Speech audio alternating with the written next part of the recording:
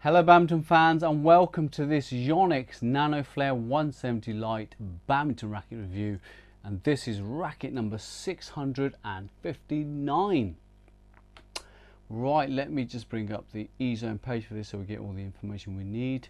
Um, availability, as you know already from the other Nano Flare uh, uh, racket videos, is pretty good. It's available most places.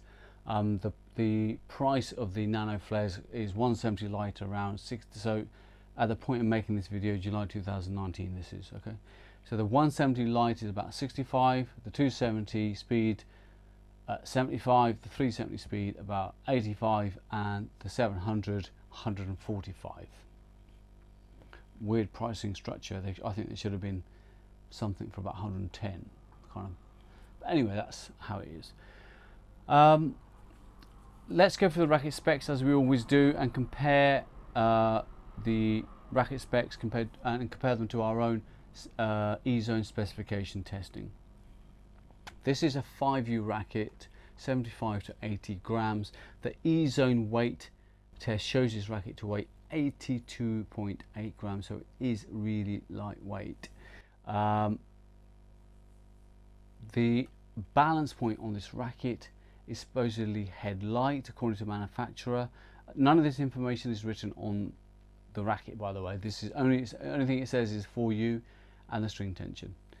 Um, the balance point is head light. The racket review eZone balance point test shows this racket to have quite a significant weight towards the head. Okay, 316 is going quite a long, uh, quite a long distance towards the head.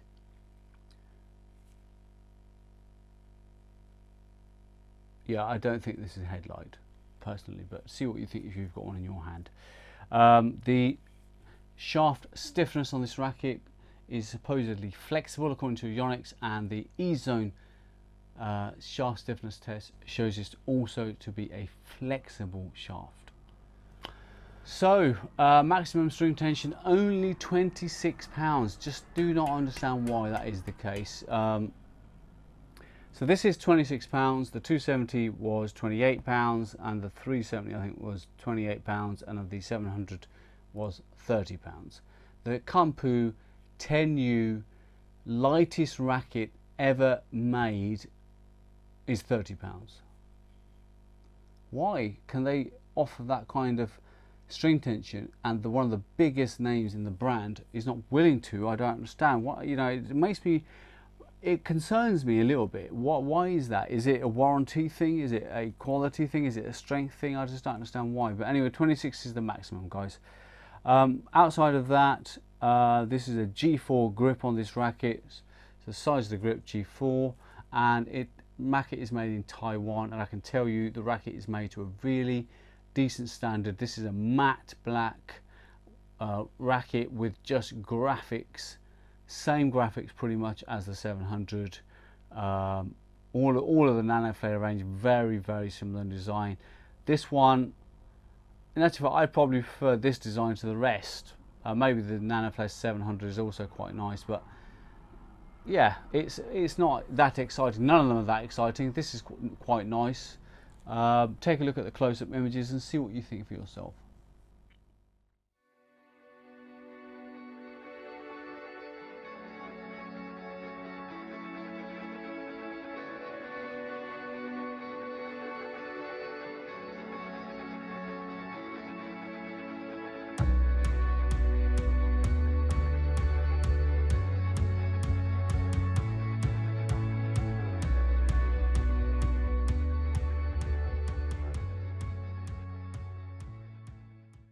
Okay, so now we've been through the specifications, let's now move on to the Racket E-Zone.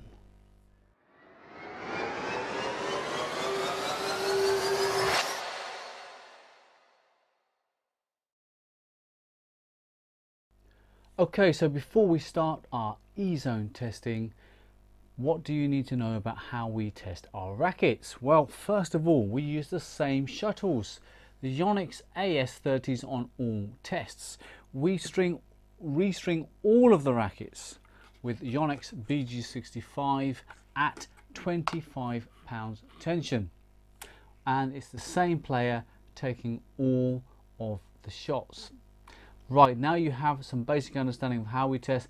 Let's move on to the smash test.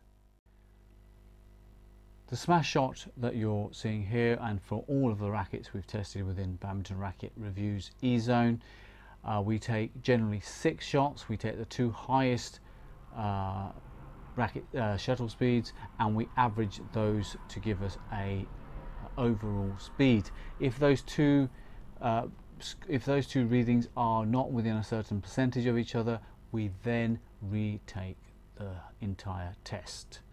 This shot measures the shuttle speed uh, coming off the racket head and also if you go across to the E zone you'll see a picture similar to the one you're looking at on the screen now which accompanies every single racket within the E zone so that's nearly 650 or more rackets with this kind of smash JPEG showing you the racket head speed, the shuttle speed, the distance and the approximate repulsion of the racket. Right, our first test in the E-zone is the smash test. Let's do it now.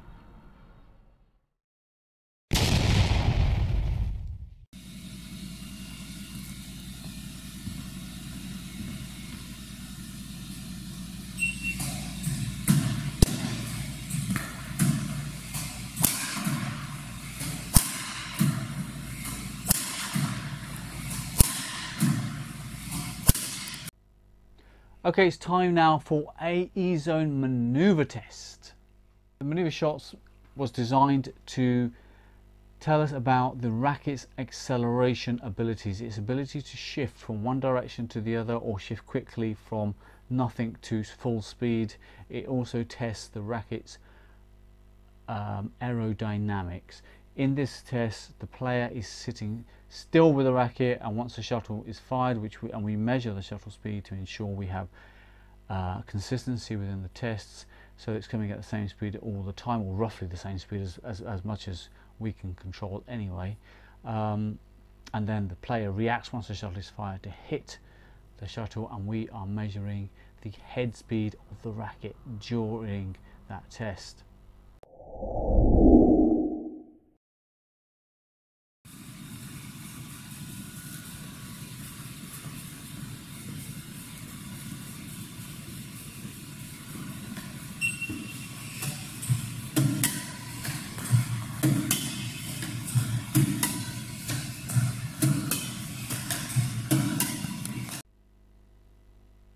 Right, so the smash test and maneuver test are done. Let's now do an E-zone control test. The E-zone control test is a simple test. It's uh, we've we've had a lot of comments about this test. Uh, the first thing you should know is that 14 shots in total are taken, not just what you see on camera. Um, the player is aiming for the green bucket which scores the highest, the grey bucket scores slightly less and anything in the net or out scores nothing at all. Now the same rules apply on this test as they do on any other court test. It's the same shuttle, it's the same strings, same tension, same player. Um, now we have um, retaken the test with the same rackets to see what kind of variation we get and we generally find that the results are within 10 to 12% of each other so the, the test is not that bad and it is generally very hard to come up with a control test uh, that's better than this. We've tried. So, but if any of you have any suggestions on how we should proceed with control tests in the future, please do give constructive answers that are helpful.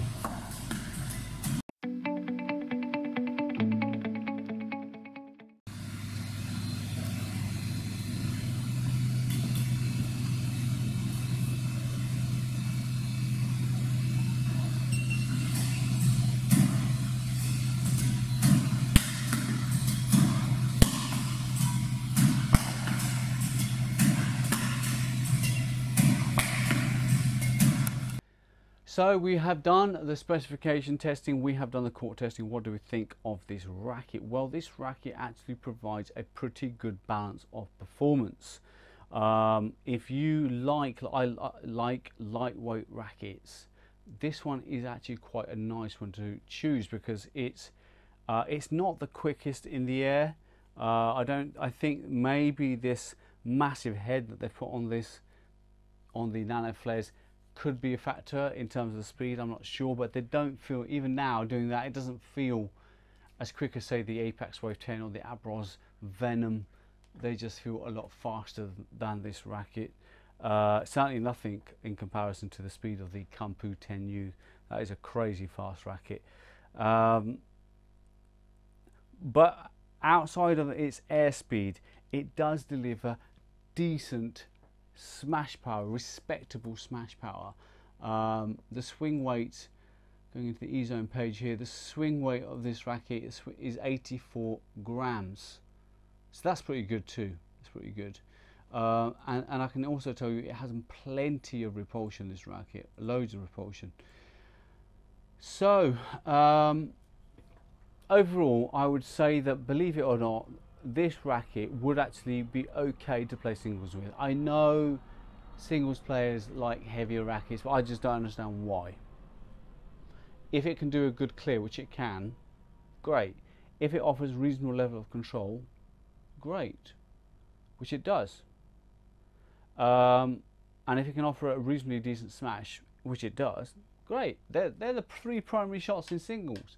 So I would say definitely consider this racket at this price point for singles. Doubles players, uh, yes, it is going to work, but I do think that the Abros Venom, the Apex Wave 10, Abros 9, Nano 9900, and the Nano, Nano Flare 270 speed, 270 speed, are just better than this for the doubles player. Great drivability, suffers a little bit in defense. Uh, the Venom is going to outsmash this. The 270 speed, I think, with time and practice, would be a better all-round smashing racket. Uh, the Nano 9900 has the same kind of air speed. It's a slightly slower racket in the air, and this also doesn't feel as quick as the weight suggests it would be. Uh, so they're very similar. Um, and the Wave 10 it does feel a little bit quicker, but the Venom out of the four is the fastest, and the 10U probably the quickest out of all of them. Um, has a decent sized sweet spot as well, so it's quite a forgiving racket to use. This is the kind of racket you'll buy, you'll pick up, and you will enjoy fairly quickly. It's not going to take you weeks and weeks of practice like the JPX range, but I have to say that JPX range, when it comes alive, it's quite uh, quite a range. Um, so what's the conclusion? The conclusion is upgrade to the 270 speed. I think you'll have an all-round better racket and you're not going to feel like you're dealing with something really super heavy or super strenuous with the 270. So if it is the nano flare you're after, go for the 270. All round, it will perform better for you. If you want to open yourself up to the marketplace, the Venom has a much smaller sweet spot, so it's less forgiving, but its overall performance is quite electrifying. Um, if you want to go um, the Nano 9900 is a very similar feel in terms of speed to this, but its all-round capability is still probably better than this. Um, the Wave 10 is kind of in between all of them, so a good racket. Um, and then going upgrading, you would look at the Nano Flare 270 uh, King K9. There would be the primary rackets for you to be considering if you like these kind of specs. Okay, that concludes this racket review for today. This is a quick synopsis of what this racket can do. The, obviously, the full review is at the E-Zone, uh, where we're trying to build a badminton community. So we would ask you to go over there. If you're not an E-Zone member, go over there, sign in, and take a look at the uh, racket the E-Zone platform. It's really good for comparisons. Really loads of information on each racket page and in the members only video there we tell you what this racket is like overhead smashing controlling defending uh, how much uh, repulsion it has and it, we go into quite a lot more detail in the review within the e-zone.